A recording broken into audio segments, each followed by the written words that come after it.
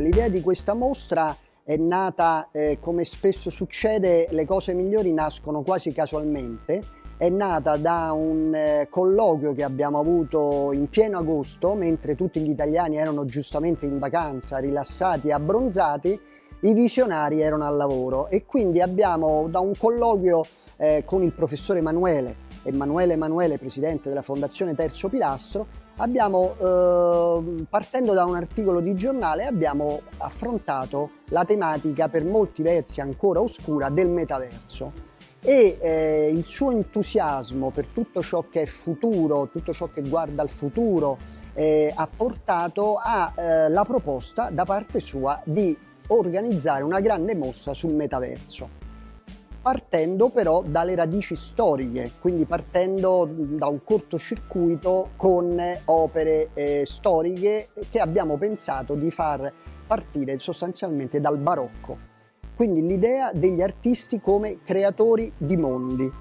e eh, a quel punto eh, abbiamo pensato, io ho pensato, il professore Emanuele anche ha pensato che era necessario lavorare in una specie di team eh, con un, una persona esperta di arte digitale e di ultime novità tecnologiche e quindi io ho contattato eh, Serena Tabacchi, eh, direttrice del Museo di Arte Digitale di Londra e dal colloquio con lei è nato questo progetto straordinario che è cresciuto nel tempo ma si è poi concretizzato in pochissimi mesi diventando appunto un'ipotesi di coesistenza fra fisico e digitale.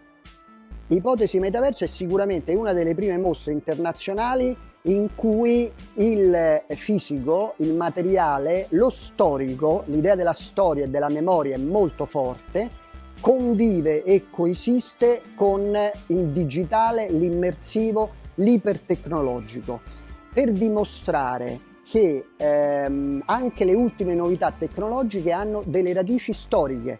Tra queste, ad esempio, sicuramente Piranesi. Piranesi con le carceri di invenzioni a cui eh, al cui esemplare abbiamo accostato un film in animazione 3D che ti porta dentro una delle carceri di invenzioni, Piranesi ha di fatto inventato il sublime preromantico, questi spazi immensi, infiniti che sovrastano l'uomo. Oggi con il sublime tecnologico, ad esempio di un Refik Anadol, arriviamo appunto a una tecnologia che fa eh, sembrare all'essere umano di essere infinitamente piccolo come avveniva in altri modi attraverso Piranesi.